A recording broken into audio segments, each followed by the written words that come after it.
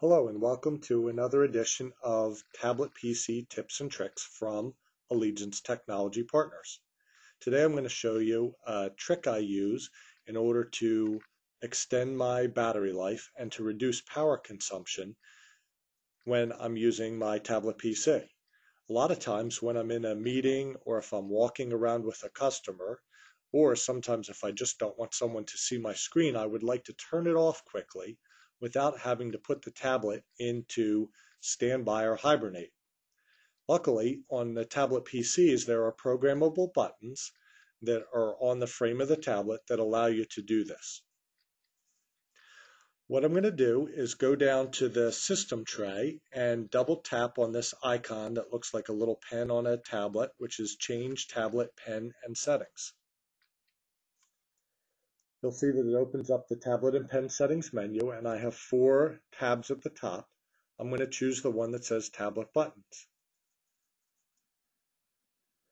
Now I get the button locations as well as a detailed view of what the buttons look like and this happens to be my Motion LE1700 tablet PC.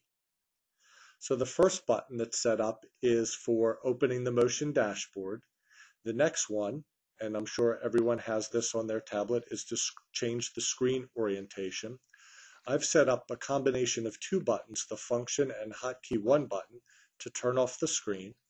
And I'm going to show you how I'll change this other one, the function and hotkey 2 button, to do the same thing so that you can see that how it works.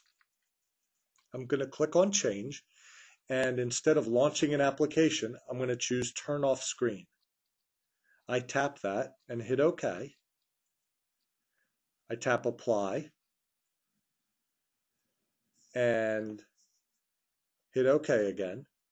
And now when I hold down the function key, uh, it says I've activated the function button and I can tap the other button and my screen turns off.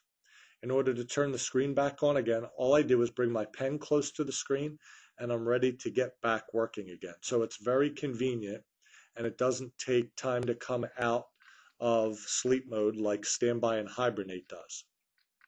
I'll show you again how it works. This time, instead of going in through the system tray, I'll start by the start menu and go to the control panel. And when that goes up, go down and choose the icon for tablet and pen settings. So you can do it either way.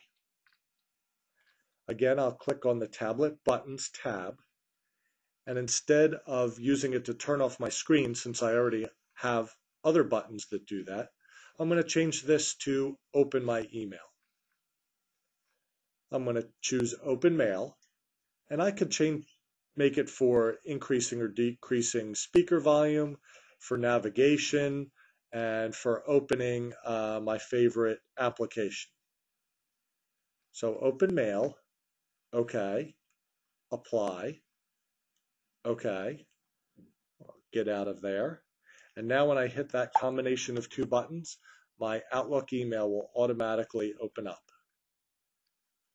So that's it, a quick tip and trick for extending your battery life by turning off your screen when you don't need it, but being able to have instant access to your information when you do.